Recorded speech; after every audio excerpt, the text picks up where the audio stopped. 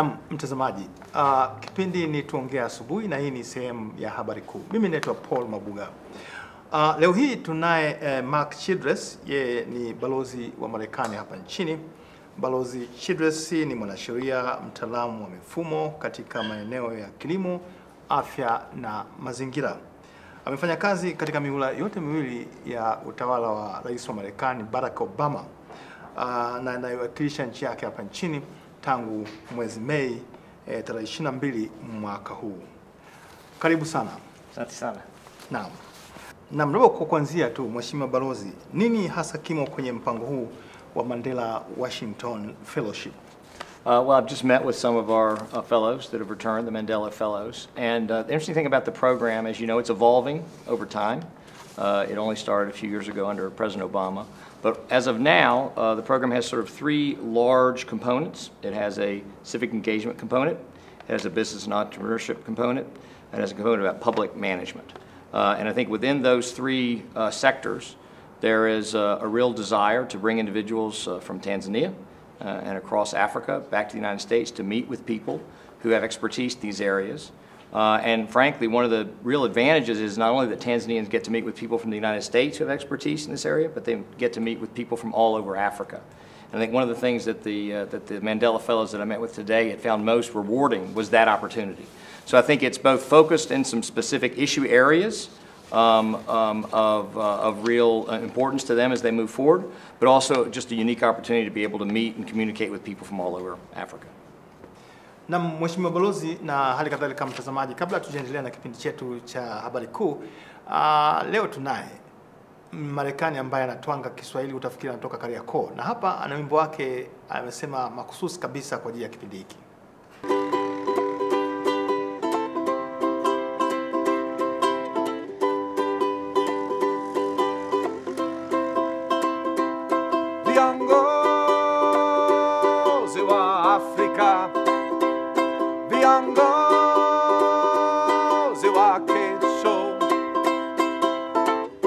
Rais Obama anawaambia ninyi, ninyi ni muhimu kujenga taifa la kesho. Njoni watumishi, njoni wanaharakati, njoni wajasiriamali, viongozi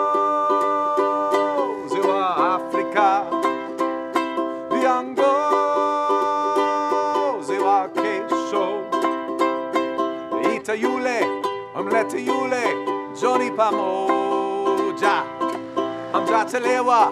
Tanzania. Inawahitaji. Njoni vijana, njoni wanawake, njoni wanaume, viongozi wa Afrika, viongozi.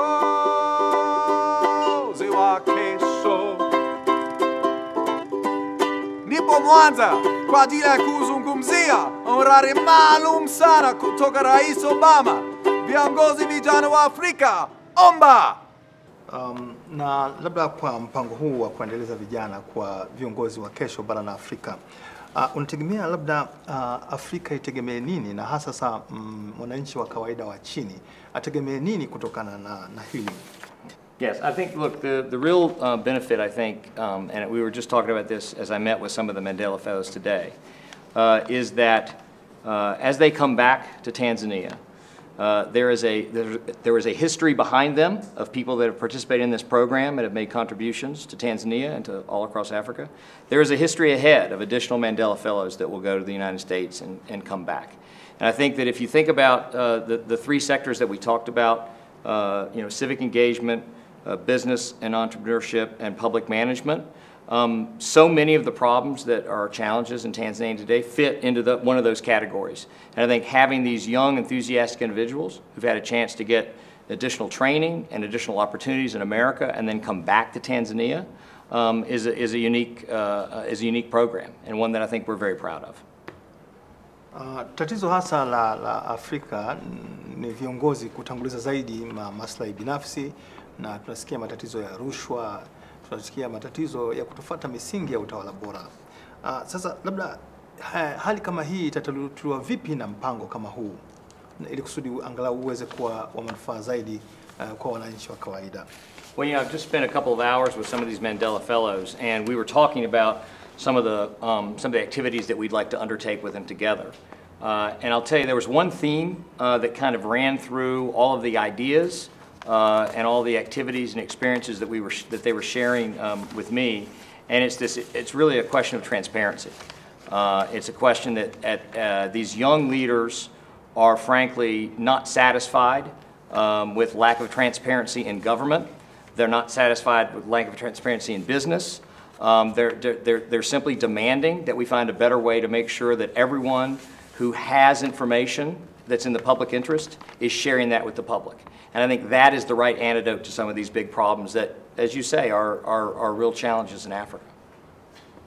Uh, na labda eh, hawa wa- washiriki wa mpango huu wa- wamemaliza tu kuwakilisha kwako mipango mbalimbali ambayo wanayo katika masuala ya uongozi wa umma.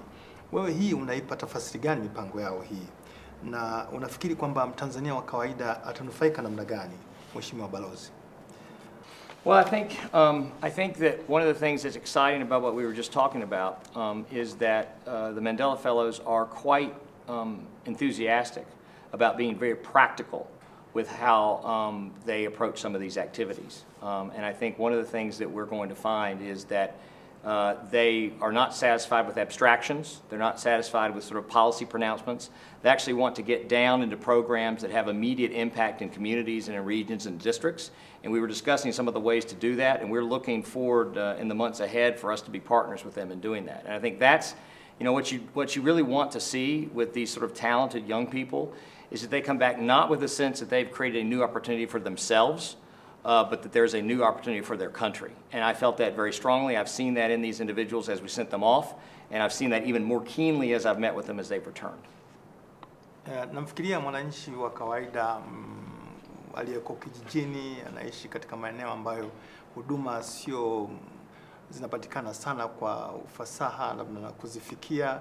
Nafikiria mwananchi huyu yani, najaribu kuanisha na huu mpango wa watu wanakwenda nje na kufundishwa juu ya namna ya kufanya uongozi bora, kwamba matatizo yake yataguswa namna gani, ya hakuna maji, hakuna umeme uh, na pengine hakuna huduma nzuri za afya na elimu. Yeah, it's good. It's interesting. It's um, they've uh, they've just uh, spent some time together talking about how to do this very thing. And one of the things that I was struck by is that uh, some of the programs that we're talking about are not, in fact, federal programs at all. But there are programs that are trying to drive down to the level of mayors and of district commissioners and of regional commissioners, and trying to make sure that you can identify public servants individual public servants and try to explain to them how there are real ways and opportunities for them to do better jobs for these individuals uh, and try to make those programs more efficient. And I think it's interesting, if you think about it, a lot of people think that so much happens at the federal level in countries, and it does, right? But you point out correctly that for individuals at the, at, in, in villages and in towns and in cities, they really need help much more close to home.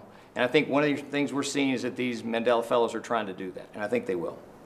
Na, naangalia pia mpango huu na matatizo, kwa mfano tumesema matatizo ya rushwa, um, kuto kuwepo kwa misingi bora ya utawala bora Afrika, um, matatizo kama haya ambayo yanahusiana na yanapelekea uh, labda tusiwe na uongozi imara miongoni mwa viongozi wetu barani Afrika. Uh, kwa mpango huu nafikiria jinsi gani kwa mfano mtu ataondoa rushwa kwenye jamii yake kama kiongozi kijana, jinsi gani atafanya misingi ya utawala bora ifuatwe ni maswala ambayo najiuliza. Yes, well, it's always, uh, corruption is always uh, very difficult, and one of the reasons corruption is difficult is because it's so many levels, right? But one of the things that I found incredibly um, inspiring about these Mandela Fellows that I've met with is that they, every one of them understand that their ability to affect change of the sort that you're talking about requires them to make alliances and cooperative relationships with civic leaders, with government officials, with religious leaders, with people in these communities. And that's frankly what, from their perspective, those are the audiences that they're focused on. And I think that's how you get the leverage to take the fact that these individuals uh, have learned new skills and have learned new contacts, but their whole goal here is not to employ it just as an individual, but to find how to leverage that within the communities. And I think that's the way to start on problems like this. Uh, najaribu kufikiria kwamba uh, kupambana na, na rushwa kwa kijana mdogo uh, na kuna vigogo ambao wana uwezo mkubwa na wananufaika na rushwa, jinsi gani ataweza kupambana nayo lakini wakati yeye akiwa ni kiongozi kijana? Well, I think the only way to level it up is, as we've discussed, is to try to make the communities that they reach out to, and what they've been thinking about and working with is to try to, go to some very specific communities where they have contacts, where they have relationships, and try to build from the ground up. I mean, you're absolutely right.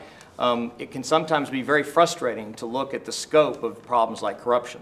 But my experience is that the way to, um, to dismantle big, big problems like corruption is one brick at a time. And I think that's what these, uh, what these Mandela Fellows want to try to do.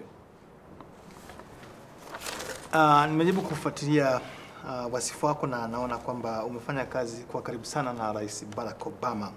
Uh, unafikiri nini hasa kilichomsukuma Rais Barack Obama kuja na mpango huu na kutumia rasilimali nyingi kuhakikisha kwamba unafanikiwa na kwamba sio labda ni mpango tu wa Marekani kwamba kujenga marais wa baadaye eh, wa Afrika kwa manufaa ya Marekani? um, no, I think uh, I think it's very interesting because I uh, I did work uh, with with President Obama closely, and I think uh, he's been quite uh, he's been quite uh, transparent about what his motivations were here, and I think the motivations um, um, were simply to make sure that Africans had an opportunity on an ongoing basis early in their professional careers to uh, benefit from their experiences with people in, in the United States in, in the education system and business system and government, and that the people in the United States had that same opportunity to benefit from, from meeting with and spending time with these young uh, professionals. Uh, and as I mentioned earlier, um, one of the key goals for President Obama was to make sure that this does not simply feel like it was a bilateral relationship. In other words, that uh, because you know we, we obviously have an enormously productive bilateral relationship with Tanzania, right? Uh, but the goal here was to make sure that as these individuals came from different African countries, that they had a unique opportunity to meet with people from outside their country. And, and again, as I said today, one of the things that has struck me is that our Mandela Fellows, um, uh, almost, almost uh, to, to a man or woman, have felt like that was one of the most beneficial parts of the program. Not merely the program, the curriculum itself, but the opportunity to make sure that they could meet with like-minded people that were not Tanzanian, but that were from different parts of Africa. These were some of the key goals that President Obama has had, and I think that I think we're seeing that realized. Um, sio mara yako ya kwanza ku- kuwa Afrika. Uh, nimeona kwamba umefanya kazi Nigeria na, na una uzoefu kwa kiasi fulani kuhusu Afrika. Uh, kwako wewe uongozi Afrika maana yake nini? Yes, I think you're right. I think uh, this is not my first time in Africa. I've, I've lived in Africa in, uh, in a number of different places. Um, the truth is, there's nothing unique about leadership in Africa uh, that is not also obtained in leadership in other places. I think that's a bit of a canard that there's this uh, distinction, right? The reality is, um, you've asked me several times today uh, in, ver- in, in a very um, quite eloquent way about how to address the challenges of corruption, for example, right? Um, an individual who's going to be a leader in Africa has to face that. Uh, you've asked me about the problems that of common people in small villages and small towns and that they have unique challenges that they need to have addressed. A leader in Africa has to find a way to address that, just as a leader in any other country has to. The reality is that the problems that have happened in Africa over the last 10 years are in no way the problems that will happen over the next 10 years. And leaders have to be able to see, as we say in the United States, around that corner and see what some of the challenges are going to be and start addressing them early. Because as we've learned, uh, not addressing big problems and letting them fester uh, is the worst form of leadership. And what's exciting about these Mandela Fellows is that they are all incredibly focused on how to look around that corner and how to help Tanzania be ready to address those new uh, and challenging problems, but to be ready for the extraordinary opportunities that await Tanzania as well. Um, labda kwenda mbele zaidi na tunajiuliza kwamba kwa nini Afrika haisongi mbele? Kwa nini Afrika haipendi haipati maendeleo licha ya kuwa na rasilimali za kutosha, uh, licha ya kuwa na watu wengi, lakini kwa nini hasa hai haipati maendeleo kama nchi nyingine ambavyo zimeendelea, na uongozi unaweza kufanyaje kuhusiana na hili? Well, it's a pretty, uh, as you point out, uh, it's a it's a pretty it's a pretty broad question because you've just given me 12 million square miles of territory to try to answer.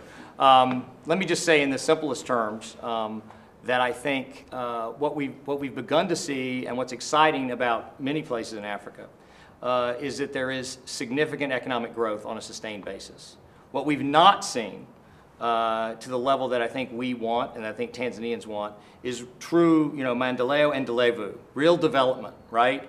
That is sustained for all the people in countries uh, and that gives the sort of broad-based economic lift that we're, that we're looking for. So I think the real key here is that we need leaders that can make that transition from merely having economic growth into having the type of sustainable development that I think Africans want and that Africans need. And I think the truth is that we've seen some real progress in that regard, um, but there's a lot more to do.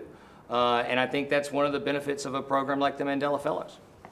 Naam, asante sana balozi, Nashukuru sana. asante sana na ilikuwa ni faraja sana kuwa na wewe.